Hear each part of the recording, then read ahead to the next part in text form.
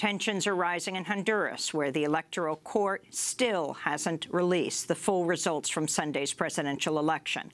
On Tuesday, the court released new partial results showing the gap between the opposition candidate, Salvador Nasralla, and the conservative president, Juan Orlando Hernandez, has narrowed, with Nasralla now leading by only two percentage points. Supporters and members of Nasralla's coalition party, called the Alliance Against the Dictatorship, are accusing the government of trying to rig the vote in favor favor of President Hernandez, who is backed by the United States. This is Guillermo Valle, the head of the Innovation and Unity Party, which is part of the coalition.